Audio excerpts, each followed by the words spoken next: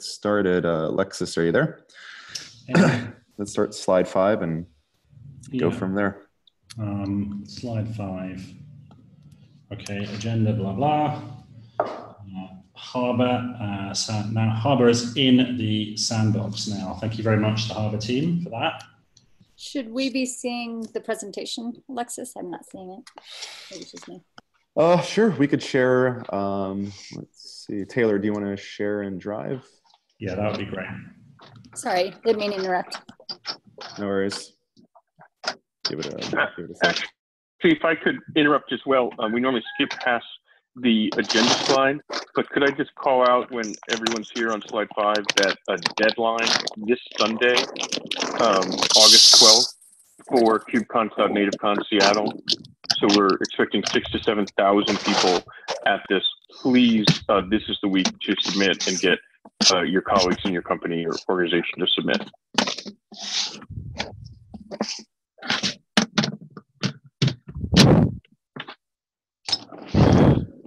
Okay, All right. Someone needs to be muted. Cool. All right. Go, go, uh, go, go for it, Alexis. all right, thanks. So we've got Harbor has come in. Welcome, Harbor. And thank you for everybody who worked on that. Uh, next slide, please. Sorry, just just to interrupt on Harbor. Uh, I didn't see a vote for that. Did I miss something? It's Sandbox. Yep. Sandbox got two sponsors. Oh, so we don't vote on them. Okay, cool. no worries. Uh, the PR was there. So But this, this one does have a vote. Uh, congratulations to Prometheus, that is, uh, our, I believe, second graduated project um, after a long journey in incubation and uh, quite a bit of effort by everybody to get this thing into good shape. Uh, making sure that the graduation process is very meaningful indeed. Uh, this was something that we voted on. There was quite a lot of consideration taken around, around the project.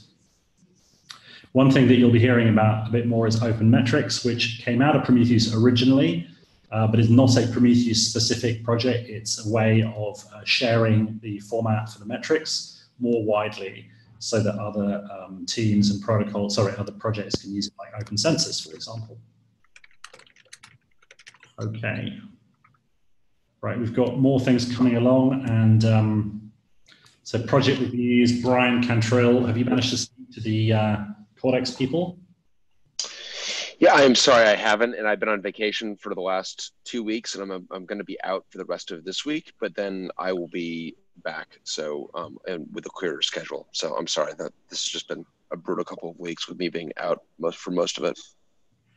Great, thank you. Um, the next one is TIKV, which I think has its sponsors. Uh, Rook, uh, what is the TOC feedback, Chris, that we need to? Uh, so, so the the Rook folks are going to uh, are asking to move from sandbox to incubation, and we'll do a small presentation the next uh, meeting.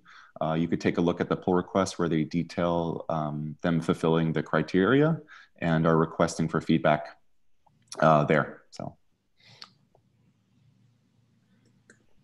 Okay, And then more importantly, there's uh, three projects uh, that have requested to present. Um, this is something Brian Grant kind of requested that we cover over TOC calls before we decide to allow them present or not. So we have Strimzi, Habitus, and WeaveNet. We necessarily don't have to make that decision today, uh, but um, I'm pointing them out uh, here for you to consider. okay. I'm surprised to see that the WeaveNet guys put that in for the sandbox. That's probably a mistake. That should be Or incubation. uh, it could be my fault or reading it, but I'll, I'll do it. Okay, did you see anything submitted on WeaveScope, uh, Chris, at all? Nope. expect that to. Backlog is there. Okay, and we've got a couple of presentations today as well. So are there dates assigned to those uh, backlog items? Uh, the, the, the dates, everything in backlog is scheduled to present. Uh, everything in request to present is not scheduled and requesting uh, TOC feedback to either allow them or pass. Okay, so the dates are in the spreadsheet or? Uh, the dates are on the GitHub repo. If you go to github.com slash CNCF slash TOC, you'll see them scheduled. I'll, I I could add the I could add the dates Okay. uh, for the next TOC meeting too. They're just in the README. Yep. Okay, thanks. Okay. Uh, right, next slide, please. So this is a quick readout from me on the governing board meeting. Um, I'll try and keep this fairly short because we've got some presentations today. Uh, we can follow up on the, on the, on the public TOC list uh, if people want to discuss any of this. Can you go to the next slide, please, Taylor? So one of the things that came through strongly in the request for feedback from TOC was that we want to build stronger bridges with the end user community now that it's becoming bigger. Uh, these are some of the things that we asked for. Uh, there was there was a good response from the GB on this request. Uh, that it was re read very much as a, a sort of set of requirements for how the GB and the end user group could, could kind of go away and come up with ways interacting with the TOC. So what, what, we're not presenting here is a solution, more of a, a question to the GB and to the end user group. How can you help us to find out more about the projects? Um, okay. Okay, next slide. Uh, we had some talk, especially kind of in the water cooler moments as well, around the future growth of the CNCF and the importance of retaining a high level of clarity around what we're doing, why we're doing it, what projects are for, and how they fit together. So, um, you know, I have personally expressed the concern that the the landscape um, is still being, you know, sometimes presented in its in all of its true glory, consisting of everything that might have something to do with cloud native. And here's a link to some commentary on, on Twitter from, from the notorious Simon talking about that. And then, um, you know, Dan pointed out that we have the trail map, which is getting good traction as more of a opinionated guide that actually refers to the projects in the CNCF. I think it's very, very important that we that we continue to give people opinion uh, around um, what we're doing and don't get too sprawly. So we talked about some of the potential threats there, including that as Kubernetes gets more and more popular, uh, there is a potential of having X for Kubernetes for really any value of X. Um, for example, I mentioned the project Cortex, which I'm close to because it came out of Weave. You know, that's splicing between Prometheus and Kubernetes. So where do you, what, how do you deal with all of those things? So uh, on the next slide, please, here is a proposal so this is not a formal proposal at this point, but it's something that I thought we could discuss uh, as, as the year goes by. The idea here is to form categories uh, within the CNCF of um, clumps of related activity, um, e.g. security or observability. And, and Brian Grant also pointed out that we could encourage some, some of the projects to think of themselves more as a platform as sort of something which has a constellation of smaller projects around it. Uh, there's also the potential to have verticalization uh, in the future, and um, there's also different classes of project like etcd. You know, we've, we've previously talked in the TOC about the importance of etcd coming in and being a, a stable, stability first component rather than trying to express great velocity. Some of the things that might be uh, provided by, by different categories would be white papers, a category specific landscape, for example, the security landscape or the serverless landscape that we've already seen in the serverless working group, uh, more patterns that are focused, um, reference architectures around the category and obviously working groups. This would also give us a mechanism for um, migrating the working group model to something that I think has a bit more long-term value. So um, I'll open the floor for a few minutes to this. Does anyone else, apart from Ducy, who's commented on uh, I am there. Thanks, Michael. Uh, want to comment on this? It's just an idea. So, what do you think?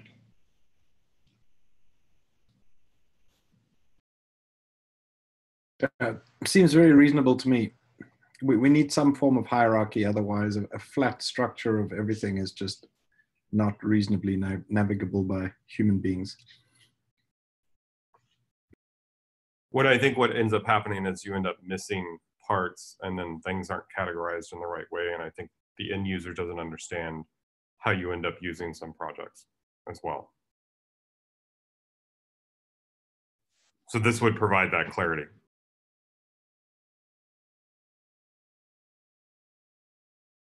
Yeah, I think um, it's worth working on uh, this further to see if we can come up with a more concrete proposal you know, in some areas there will be high degree of affinity between the solar system model and the categories, um, like monitoring and Prometheus related things, for example.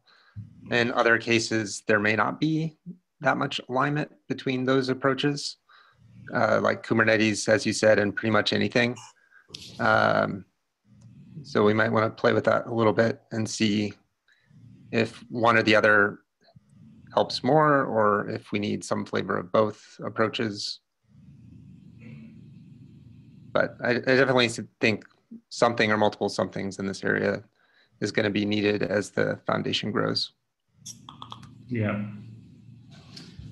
Yeah, I think something like this, especially if um, we have a proliferation of new functionality on top of Kubernetes, I think that's going to present all kinds of challenges, which we've managed so far to shy away from, which I'm quite glad about, but I'm not sure if that's something we can postpone indefinitely.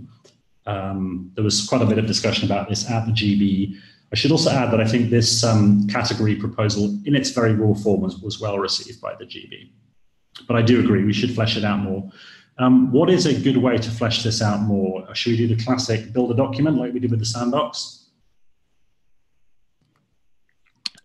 I actually think um, taking the existing projects and uh, some of the prospective ones from the uh, from the upcoming uh, presentations and also from the landscape or just other projects that we know about. Not that they necessarily would come into the CNCF, but just say, well, we took this set of 50 projects and we applied this approach, this is what it would look like.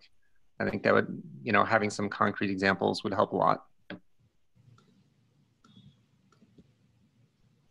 Yeah, it sounds like something that a working group might want to tackle. Uh, yeah, I'm not a fan of like making a big working group or whatever. I would just say we should get three volunteers or something to actually go mock up some proposals. Chris, what do you think? Yeah, let's create a mailing list and get a few volunteers to just hammer away at this.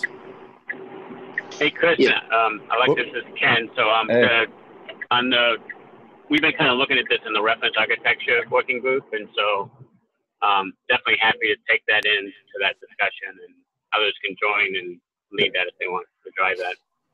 Yeah, yeah that, could, I mean, that could be easier. Come back with a list of potential categories and um, which current projects we have, which would map into those, and which ones are in the pipeline, and just start from there, and then maybe identify one or two using the model that Brian described. Yeah, let's do that. And the objective here, Alexis, is to offer clarity, correct? I mean, that's the overall objective is to allow people to, to, to make sense of the landscape. I think um, to make even even if you consider the landscape to consist only of the projects that are current that are actually in the CNCF, um, then I think the number will be growing, and uh, we're really at a point now where it's going to get uh, if it gets much bigger, it will become very confusing.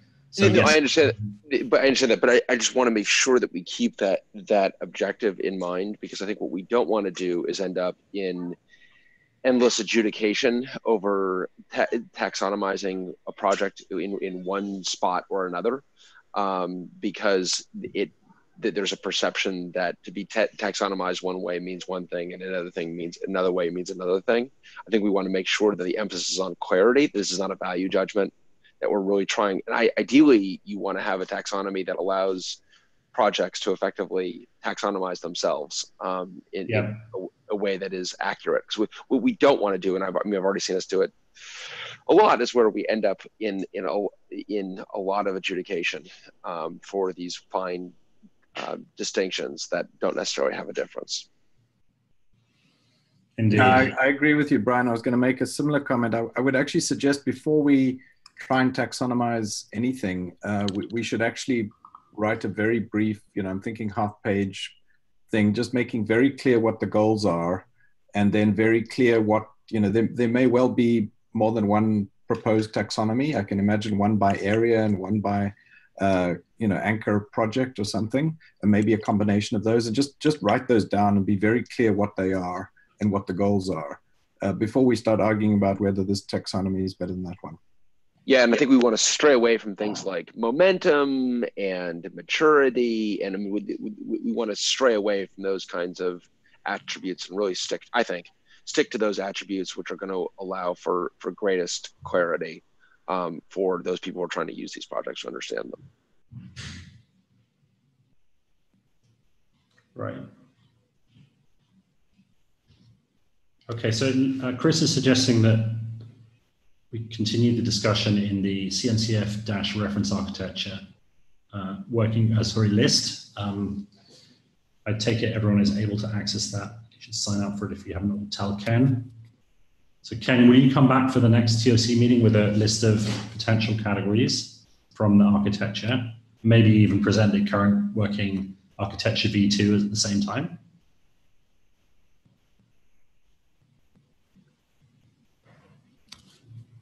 Ken, you might be on mute. Yeah, I, I think that's a perfect perfect thing to come back with in two weeks. Thank you. Perfect. Okay. Yeah, no problem. So let's move on to the next slide, please. Um, this is a recurring theme. I brought up this with the GB as well. You know, the um, it's really, really important for the CNCF to add value to projects. I know there's many other things that we care about, this for me is very important that if the projects are happy, then other things will follow. Uh, we had the discussion about the trademark thing that uh, that came up around O'Reilly, and that's in you know a solution I hope is in progress. Um, and uh, yeah, that's there's not much else to say about this slide. So let's move on. And this is something that a slide that I showed in uh, Copenhagen. I mean, maybe you know another thing we could do off the back of categories is have some kind of dare I say it roadmap. Um, this this particular table was um, completely of my own creation, and I emphasized that point when I presented it. But it would be nice maybe to have something with a more collective view um, in the future. But I think categories first.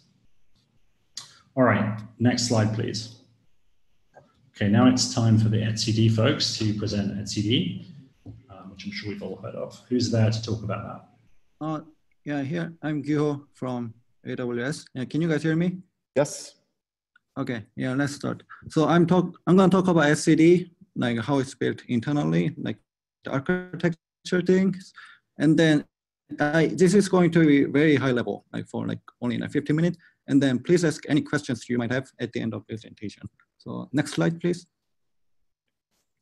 So etcd is consistent distributed key value store, mainly used as a coordination, separate coordination service in distributed systems designed to hold small amount of data, like that can fit entirely in memory. Although we still write to disk for durability. So you don't want to store like all of your applications data in etcd. And it is quite popular, like Kubernetes relies on it. And then we also have a lot of non-Kubernetes use cases. Uh, NTT from Japan uses etcd to manage their network infrastructure. And then also Uber is using etcd to manage their uh, M3 time series database. And then also recently Brain, Braintree uh, replaced Redis to power their caching systems. Uh, okay, and then next slide. So this is how etcd works in terms of Kubernetes. So Kubernetes control plane interact with etcd. For instance, Kubernetes API server persist or cluster metadata, in etcd. And then the kubelet or node agent can subscribe to this information through etcd. And whenever changes happen in etcd, etcd notifies the client, which is Kubernetes API server, so that it can keep the data up to date.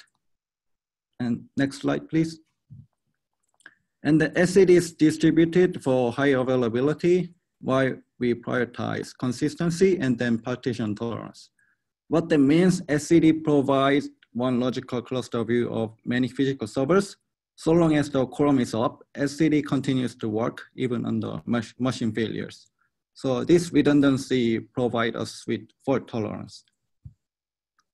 Next slide. So etcd, yeah, this is our uh, API. So etcd has a flat binary key space with no directory hierarchy. So etcd uses ranges to search for keys in an interval. So this interval model support calling keys on prefixes as if from a directory. and then etcd list is not tied to any session or connection, you can create like as many lists as you want. Instead of, of key having a TTL, a list with TTL is attached to the key. And then when the list expires, all associated keys in S3 storage are deleted. Also, this model reduces keep alive traffic.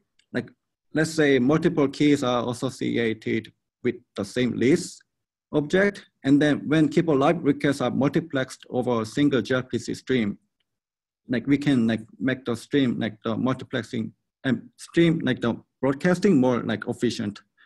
And in addition, they are also processed by the leader, like without going through the raft layer. So we don't have any like the overhead, like consensus overhead when we when we have an idling like list like request. And then etcd can also serialize multiple operations into single conditional minute transaction. So each transaction include a conjunction of conditional like guard. So we can check, we can do checks on key version and then modified revision or like value of the key. And then we also have a list of operations to apply when all conditions to evaluate, evaluate to true. And then we have a list of operations to apply if any of the conditions evaluate to false. And then this transaction make our distributed lock safe because access can be conditional based on whether the client still holding its lock. This means this means that like etcd server like reject the the lock like election API when the client like is lose, losing its claim on a lock. So that can happen like due to like client error or like missing expiration event. So next slide. So we have a streaming RPC for watch or like list keep alive. So like Zookeeper or Consul or etcd version two, like can only return one event per watch request. And then they require long polling over HTTP and then forcing the systems basically hold open a TCP connection per watch request. But let's say you have a thousands of watch client then like, we can quickly use up all the server socket and the memory resources. So etcd version three, like instead of opening a new connection per watch request, we register one watcher on a shared bidirectional gRPC stream. And then like this stream delivers event tagged with a watcher ID. So that is like what multiple watch streams can share the same TCP connection. And then this streaming multiplexing like reduce like etcd memory footprint by any on um, order of magnitude. Next slide. So etcd is distributed. So we need replication protocol, like which is Raft. So etcd server implement the Raft consensus algorithm. So it is leader based. Leader is chosen by the followers and then followers forward proposal to the leader and then the leader controls like everything like leaders controls to what to commit or not and this leader must receive the acknowledgement from quorum of the cluster to make any progress so these safety guarantees of raft provide consistency and then partition tolerance and then the client doesn't need to reason about cluster membership like which means client request just like automatically forwarded to leader node and then, yeah, etcd has the most widely used uh, Raft implementation. So Cockroach DB and then TiKV and then many other like projects rely on it. And then they also contribute back to etcd, yeah, which is great. And then it is very stable and then reliable. Next slide, please. So etcd write distributed consistent log over Raft for, for durability and then this underlying storage layer is write ahead log, like WAL. So let's say client send a write request to the etcd server, and then this proposal first goes to leader. And then uh, when the proposal has been agreed by the quorum of cluster, like leader commits that entry. And then when we commit, we append that entry to the WAL file. And then this committed log entry is persistent. And then when we say persistent, it means f-sync down to the disk, like which like gives durability. And then if this machine crash, like we can just restart the server and then the server can just replay the logs back from disk. And then in order to avoid running out of disk space, we break this into small files, like periodically purging the old ones. So for, and then for performance, like each segment file is pre-allocated 64 megabytes. So there, we don't have any latency for metadata update or allocating blocks. And then buffering is also special, like in that like writer flushes only on full sector write, or like when explicitly asked. And then etcd flushes WAL logs to disk for every four kilobytes. And then also for consistency, we keep rolling CRC and then also safe against the write tears. So smallest write unit to single record is raft entry or, or raft hard state. And then this each record follows like eight byte data alignment. So let's say one disk sector is 512 byte, and then world record is uh, 1000 like 22 byte. Then the, the word, like our word encoder add like two padding bytes at the end to make this like fully sector aligned. So assuming that like sector disk write is uh, all or nothing, so writer would never straddle like on record across disk sectors. So yeah, this is how we prevent write tears and then partial like write. Next slide, please. So etcd has a separate backend database because like WAL is only for appending raft entries in binary format. So we need a like nice, nice layer on top in order to represent like actual key value data. So etcd version two only keeps the most recent key value mappings, discarding the older versions. However, uh, yeah, this is not good because like the watch client may miss the discarded event from brief network disconnections.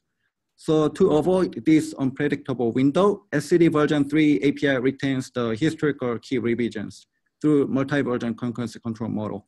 So this uh, retention policy for this history like, can be configured.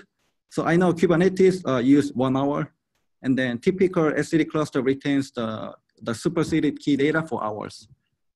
And then to reliably handle longer client disconnection, not just transient like network disruptions, etcd version 3 what API can simply resume from the last observed like historical revision. And then the etcd backend database has two components, like one is uh, in-memory B minus three, and then the other is B plus on disk database, which is DB. And then uh, each write increment modified revision as a global counter. And then in memory B minus three index this like each key to this revision.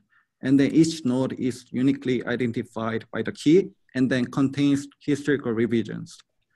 On disk B plus tree stores the modified revision as a key and then the key value data as a value on B plus tree. Next slide, please. So we spend as much time to implement fault tolerant client. So what that means when there is a transient disconnect or network partition, uh, we expect client to automatically fail over like or do more efficient retries using so like our client using uh, gRPC health checking protocol and then HTTP to ping. So and then uh, this is extremely important and then at the same time it's really hard to get it right. So last year we spent like several months to implement this feature, and then we also we even backported that like huge feature to etcd version 3.2 for Kubernetes users. And you can read more about this in the in our docs, the slide. And then yeah, for just to review the whole data flow. So we have our client talk to etcd servers using gRPC, and then gRPC calls can be either unary like or streaming RPC. And then server front end handles the transport to talk to other peers and then implement the quota layer to put the cluster into maintenance mode, like when like the data exceed the database size limit, or like when it finds the data corruption. And then MVCC layer, like implement the multi-version concurrency control and to retain the historical data, and then also implement the watch storage. And then DB is an embedded key value storage engine that etcd uses to persist this data on disk. And then Raft layer to handle the log replication. And then we have a WAL storage to persist Raft log, log entries on disk. Next slide. So yeah, we get contributions from from all over the world. Like core maintenance are very well distributed. Myself work for AWS, and then I think Xiang Li is, is also here. So he's the creator of etcd, now work for Alibaba Cloud. And then we have a Joe Betz from Google Cloud Kubernetes team. And then also a lot of maintainers from Red Hat. And then we want to have more consistent maintainers, like which is why we want to donate etcd to CNCF. And then we also, we track all the user issues on GitHub. And then we have a bi-weekly community meetings to discuss any outstanding etcd issues and then share development, development progress. For engineering side, we spend a lot of time for testing. Like has very limited set of features. So reliability is our highest priority. So yeah, etcd functional testing verifies the correct behavior of etcd under like simulated system failures and then faulty network. And uh, it's set up uh, on etcd cluster under high pressure load and then continuously inject failures into the cluster and then expecting the etcd cluster to recover within a few seconds. Yeah, this has been like extremely helpful to for us to find critical bugs. And then, yeah, next slide. Yeah, so this is the roadmap. So in the meantime, yeah, we want etcd to be better integrated with both upstream and then downstream. So such as gRPC and Kubernetes. And then, yeah, so and then we also planning to add non-voting member support. Like currently etcd uh, and member add operation can be quite disruptive. So let's say when a new member comes in to the cluster, and then etcd leader has to replicate all the logs from beginning or send snapshot to the new member. So this is already a lot of work for like etcd leader node. And then this is even worse if the new member partitioned were being slow. It can affect the cluster availabilities. So once we have the non-voting member feature, we, or we call like Raft learner, as an additional state in Raft implementation, like this new member joins the cluster as a non-voting member, like before disruptive configuration changes happen. And then, yeah, in that case, the leader still replicate the logs to this like learner node, but it, it is not yet counted towards the, our like quorum. So once this new server has caught up, uh, it can like promote it as a like regular node and then count it as a quorum. But while the learner node is catching up, etcd does not need to wait on the like a new fresh node for cluster-wide consensus. So this is one of our features we want to add in the next uh, release cycle. And next slide, please. So yeah, so we uh, yeah, so we want to propose etcd as a CNCF project. So I, I believe like CNCF can benefit etcd for a lot of things. So right now we have a shared Google Cloud account for our release process and then also for testing.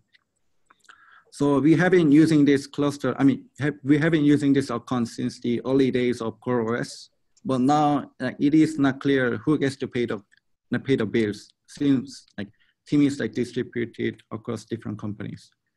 And then hopefully we can get the better CI support. Right now we use CI, uh, free like CI service. And then once we grow the project, we may need more resources, like more computing power.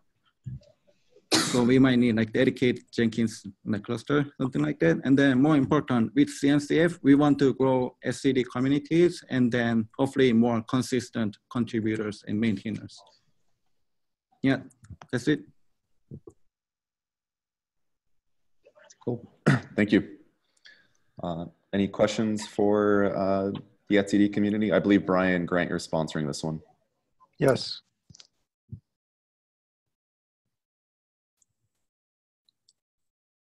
Yeah, any questions? So I think um, etcd is good for incubating project. Like, what do you think? Not sure. Uh, it definitely has a lot of usage. yeah, I'm very happy to co-sponsor that at incubation level. This is Quinton. Okay. Okay, thank you. Okay, so Chris, can you follow up and help uh, the etcd team understand about the yeah. documentation process for incubation applications? Yep, we'll do. No problem. Okay, thank you. Yeah, good presentation. Thanks. Good point, Bob. Okay, and I think it's the RSocket folks next. Um, can we go to the next slide, please, Taylor? Now, before we go on, I'd like to mention that I'm uh, extremely keen to sponsor this project. I spent a long time doing some uh, DD with Ben Hale, who I see is on the call, and um, the team from Facebook who co-developed it with Pivotal. Um, as with NATS, there is going to be uh, an, probably an initial uh, set of uh, questions around where exactly does this fit into the landscape. So please be patient um, with the RSocket folks. I personally believe there is a really good use case for this. Okay, so who wants to go first, Ben or anyone else going to take this, take us through this? This is Ben. Can you hear me this morning? Yep. Great. Uh, so my name is Ben Hale. I'm here. Um, I'm a longtime Spring member and a Pivotal employee.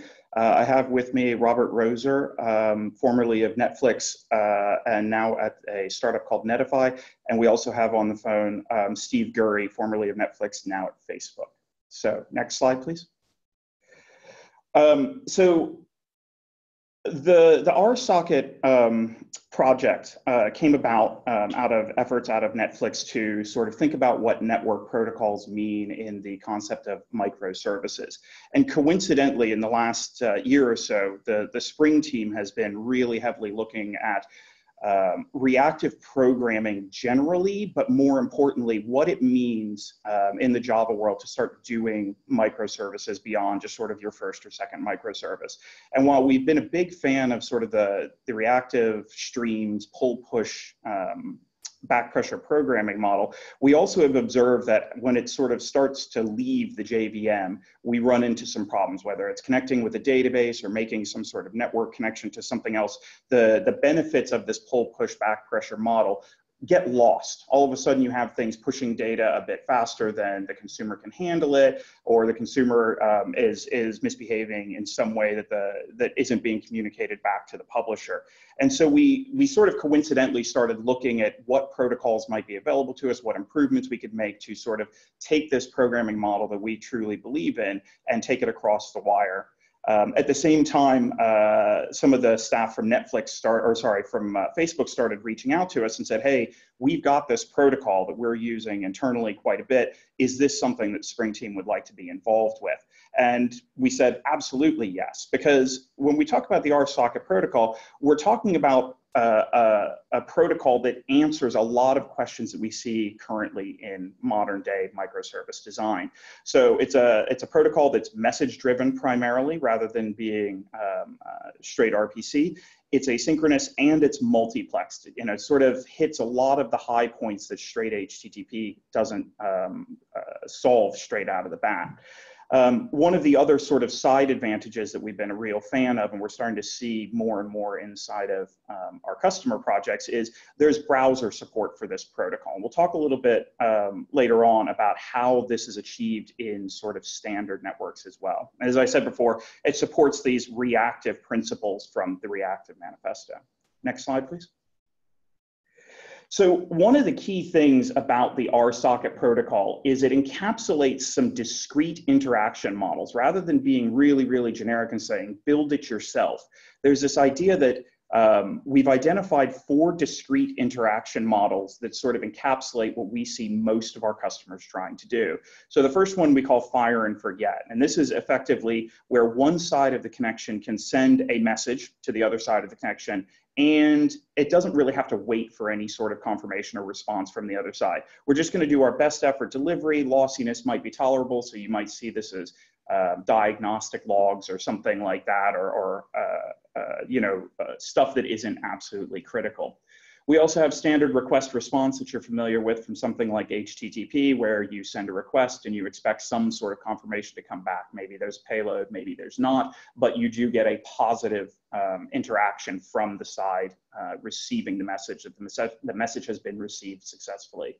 We also encapsulate the idea of a request stream. So a single request may respond with multiple streamed responses, but going back to the, the concept of reactive programming, this, this stream of responses comes only at a rate that the consumer can safely consume these things. So you don't end up with something like um, a huge amount of data generated on the server side, either cached there or forced across the wire as quickly as possible and overwhelming a slow network connection or a slow device sitting on the other end of it. And then finally, um, the uh, an interaction model where anything goes. It's basically a bidirectional um, full duplex channel where messages can be passed from either side of the channel back and forth at will uh, with responses coming as necessary from the other end. So we wanted to make one of the key tenets of RSocket is that every, we believe that um, all, if or most, if not all, uh, interaction um, between microservices uh, can be encapsulated with these four things, and we have first-class support for doing this kind of work. Next slide, please. So as I said, um, the, the connection or the protocol itself is bidirectional, which basically means as soon as a connection is established, so there is kind of the concept of a client and a server to establish a connection. But once the the the uh, the pipe is is connected between two entities, um, either side can then start those interaction models that we saw. So there isn't one side that is sort of disadvantaged to the other. They become equal members of the network once the connection has been established. We also have the, the idea of cancellation. So one of the, the big downsides to HTTP as it exists today is this idea that um, once a connection or once a request has been made to the server, you effectively have no influence on what happens. You can drop the connection completely, potentially, which could be expensive or not expensive depending on um, the circumstances you're in. But the server is going to attempt to do a potentially very large amount of work, and you have no interaction and no influence on whether or not that actually needs to get done by the end. So RSocket builds in this concept, excuse me, of cancellation uh, into the protocol itself, potentially short circuiting very expensive operations if they become unnecessary as time goes on. Another really, really important feature um, that's been proven out quite nicely inside of Facebook is this idea of resumability. So there's uh, uh, inside of an RSocket connection, um, state can be maintained uh, as to sort of a given session, the data that has been transferred across that session and successfully received by um, the other side. And this becomes really, really useful in a protocol because it means, say, if you're trying to transmit data from a data center into a mobile device or something, and that person on that mobile device is walking around on the street, but eventually walks into a Starbucks and flips over to Wi-Fi technically the network connection has been dropped. And if you had to enumerate all of the previous set of data um, in order to, uh, or sorry, enumerate a, a fixed state of data so that you could then start taking updates from it, it becomes very expensive, both from a network perspective and from the server side perspective to sort of regenerate the state where things were. Uh, the protocol itself supports this idea and implementations are free to choose how exactly this works. This idea that um, you have a session and even if there has been a network interruption, you can then resume that session where you were and you're only responsible for any messages that had been uh, sent since the last message you had um, that, that had been successfully uh, consumed. We have the idea of application flow control, both between um, two connected peers. So there's this idea of back pressure saying that only a certain amount of data that can be consumed by the by one end can be sent by the publishing end. But there's also the idea of leasing, which is effectively a load balancing concept that makes it so that clients can't overwhelm servers as well. They they are um, uh, handed out uh, fixed numbers of requests that they are allowed to maintain, uh, sort of giving a client side load balancing kind of behavior. And then finally, we also support the idea of fragmentation of individual frames. Uh, as data is sent, especially when it's something that's a large piece of data, say photos or a video or something like that, uh, to help networks, it's very often um, very useful to be able to fragment those payloads. Next slide, please. So are those are sort of the features of RSocket, the things that it promises to do for you. But one of the the key things that really attracted um, the the pivotal team is this idea that it's really really flexible. So we talk about this as a protocol, and really it's only uh, a network framing protocol. It's completely transport, transport agnostic, so it can be routed over raw TCP, which we see a lot of people doing. If you only have access to HTTP 1, you can do it with WebSockets. If you have HTTP 2, it builds very nicely on that. And even exotic protocols such as Aeron, UDP protocol, um, can all sort of benefit from the RSocket layer sitting on top of it. It's also payload agnostic. So we'll probably see a lot of users trying to send protobufs across RSocket, but it's absolutely not required that that be the thing you send. You can send JSON just as easily. Maybe you're um, a, company that has your own custom binary payload because RSocket is just a framing protocol, allows you to put any bag of bytes you want to inside of the payloads that are sent. We also liked that it's very much programming model agnostic. Um, inside the Spring team, we are very big fans of the messaging um, sort of abstraction that you fire off a message and it can be routed to some arbitrary piece of code on the other side based on some routing um, tag attached to it. So we like messaging, but we're fully aware that there's a, a, big movement for more RPC style, things like gRPC. And so RSocket can support either of those styles depending on which you want. And then finally, uh, and this I think goes for, um, for all of the other companies that are sort of working inside of, uh, inside of the RSocket um, project, it's language agnostic. So there are really powerful um, implementations of both Java and C++ with JavaScript coming on. But we also see them for uh, things like Kotlin, and you can um, envision places where something somebody could implement it with um, uh, Python or you know uh, Go or something like that. You name your your favorite language.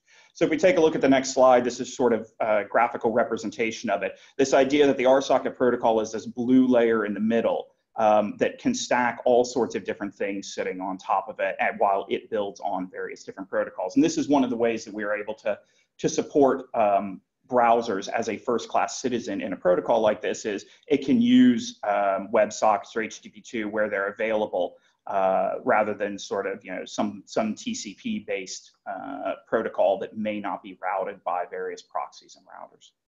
Next slide, please. Okay, so um, there's uh, the next couple of slides are just sort of a comparison between uh, gRPC, NATS, and RSocket, which are sort of the uh, closest possible um, uh, competitors or uh, closest possible analogs to something like RSocket. And I don't think we need to go through all these. I, we put them in here as reference for you to take a look at them. But um, the, the key thing is that uh, in general, RSocket um, aims to be this sort of layer in the middle. So a lot of things that you'll see gRPC or NATS potentially do, it will do sort of built in. So whether it's something like cancellations that NATS doesn't have, but gRPC does in a limited way, we can, it's sort of built first class into the protocol. It's a full duplex um, uh, protocol as we described earlier, where once a connection has been established, either side can initiate interactions back and forth. Uh, next slide, please. We have, as we described a little bit before, um, the idea of fire and forget for lossy kind of things. We have resumability built in as a first class citizen. There's flow control based on this reactive streams protocol that's sort of well proven out, especially in the Java world, but starting to, to get to um, alternate locations, or sorry, alternate uh, programming languages as well. Uh, next slide, please. And then this is sort of encapsulating what we described a little bit before, like the various different language uh, languages and frameworks that support these things today. And certainly RSocket, um, we'll talk about this a little bit later on, RSocket has very large strongholds in Java, in the Java world coming from Netflix and Pivotal, but also in the C++ world for um, the, the Facebook team. Hey, uh, Ben, it's slightly irrelevant, but the creator of NATS was actually VMware. And then okay. it was done sorry VMware and then um, Apcera, and now it, uh, it's it's Synadia, which is a dedicated company behind that behind that. Okay, I'll look at the website. Okay, okay. Uh, next slide, please. So RSocket today, um, there's over 600 GitHub stars between sort of the, the big um, projects in, inside of it that we consider, so Java, C++, Kotlin, and the main spec itself. And the contributors, as we said a little bit before, Facebook and Netflix are sort of the, the top level um, uh, high visibility contributors and users of this protocol.